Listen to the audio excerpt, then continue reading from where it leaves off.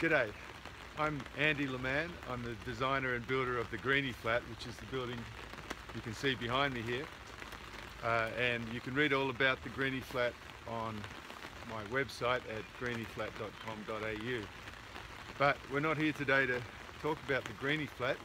We're here to talk about the house next door, which is right here. So the house was built in probably 1950 thereabouts. Um, it's hardwood frames, uh, old timber double hung windows, tile roof, and uh, and yeah, fibro with asbestos in it on the outside walls. So yeah, today we've got the blokes here uh, pulling the fibro off. You can probably see a couple of them working over there.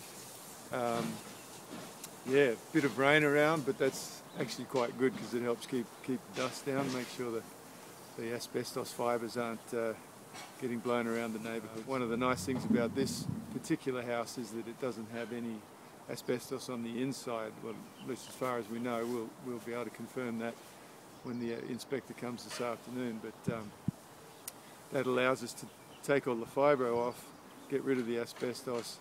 Now, and then as you can see, the, the wall frames are exposed, so we'll be able to insulate the walls from the outside. Uh, replace all, we're going to replace all the windows with double glazing, and then we'll um, reclad the house um, and later on, we've got some work to do on the inside. We're going to move the kitchen and do some things like that. And then uh, eventually we'll replace the roof with Colorbond and put solar panels on the roof. So this is the, the start today. So let's hope it all goes well. So here you can see how the whole house used to look with the fibro on the outside. And here are the boys taking off the fibro, exposing the frames, and they take it off in bigger sheets as they can and carry it back to the truck which was parked in the driveway and then when they're all finished taking the fibro off, cleaned everything up and then they're painting the face of the frames with a, with a bit of PVA glue and that binds all the fibres in place.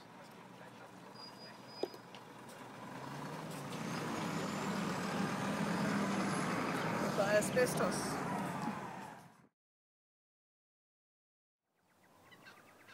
Andy here again. Today is day two of our energy retrofit project.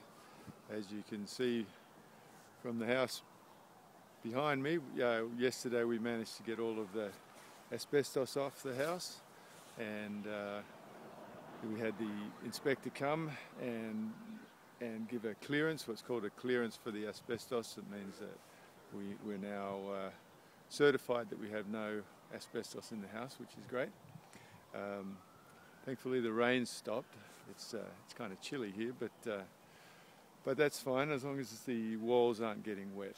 Um, so today we're going to start on, uh, we've got some electrical wiring to do while the walls are exposed and um, then as we've done the wiring we can start putting in insulation and then wrapping the building with sarking. Um, so we'll do that. We'll go all the way around the building doing the insulation and sarking and then uh, that'll get us sort of fairly waterproof. Uh, we're still waiting on the windows to arrive. We're going to be replacing all the windows with double glazing and um, they're being made as we speak so uh, probably got a couple of weeks until they're ready and um, so we'll get the sarking on, then the windows will go in, and then we'll be able to reclad. Time for a quick trip to the local Bunnings store, and uh, came here to get some insulation for the walls. So looking through the packs of different kinds of uh, Earthwool insulation. So the one we're uh, going to use is this one here, which is a R2.5. Here you see Daniel and George working on installing the insulation.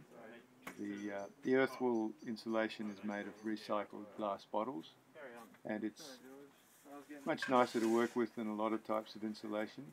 Doesn't make it nearly as itchy or make you cough like some, but it's still a good idea to wear a mask and gloves.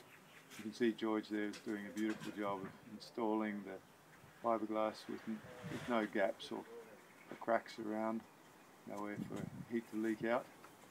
And over the top of that, we're putting this HardieWrap, which is a reflective, waterproof, and vapor permeable sarking, which help keep the building cool in summer and protect it from moisture problems. Thanks for watching, and you can find more information at greenyflat.com.au.